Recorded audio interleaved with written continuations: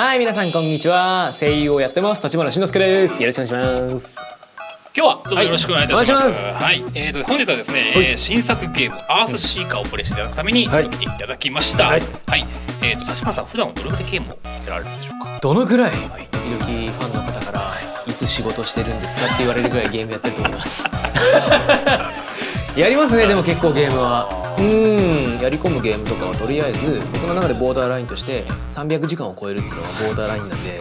やろうと決めたら300時間はもうまあやらないと。とやっぱり作ってくれたスタッフの方とかに失礼じゃないですか。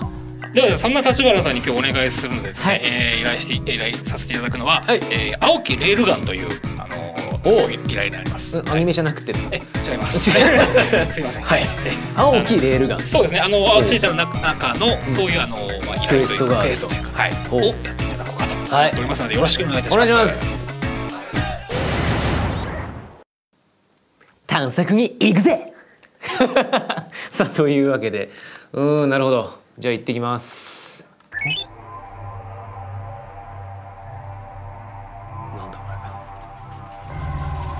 でけえ。何つうかキモい。え何ハムシ？えこれアイテムを使っていいの？いいやわじゃあ使わない。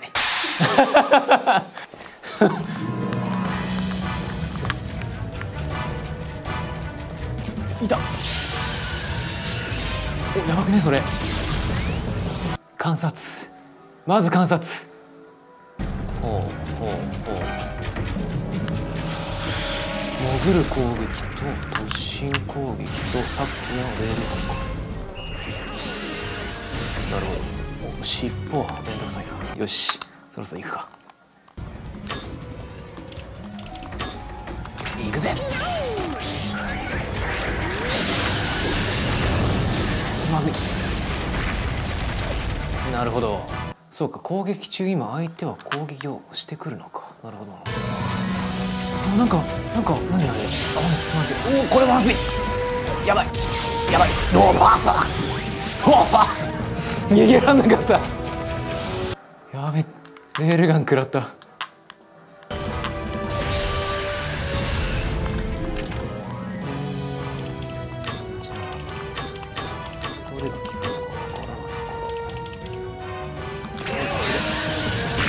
やめて。やめて。いきなり俺の俺の目論みが。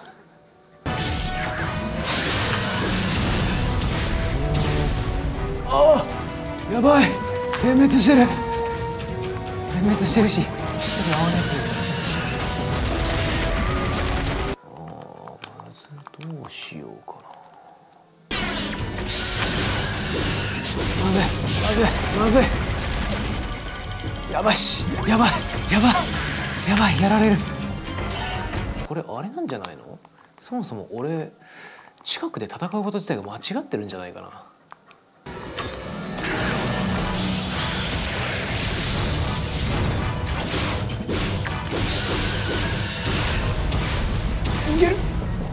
もうこっからは臆病になるぜ。俺は俺は臆病になるぜやばいやられたくない。えーなんか一撃必殺はないの？このゲーム。ないよね。3匹。3匹。で違うな。あ違った。決定しちゃっ。た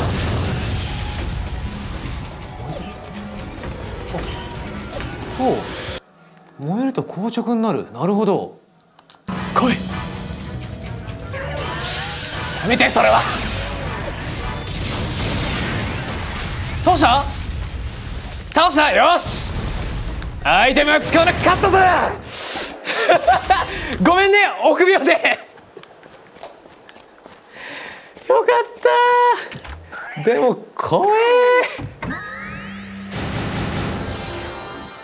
遺産発見だ。見事目的達成おめでとうございます。ありがとうございます。素晴らしい大よかった。いやーよかったです。よ本当にもう一時はねあの体力ゲージがもうピコンピコンし始めてスタッフさんが青ざめること青ざめること。まさか本当にだアイテムを使わずに倒すとは。いやー一応ねあの300時間をノルマとしているゲーマーからしてみると使っちゃいけないと。そこはダメだろうと。でいかがでした？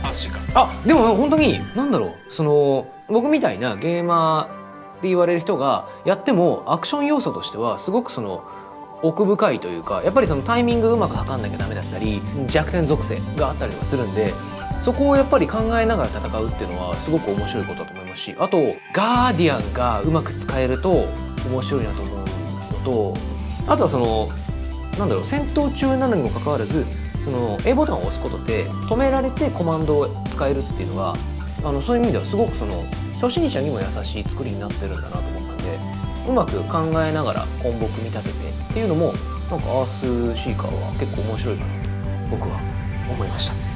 本日はどうもありがとうございました。ありがとうございます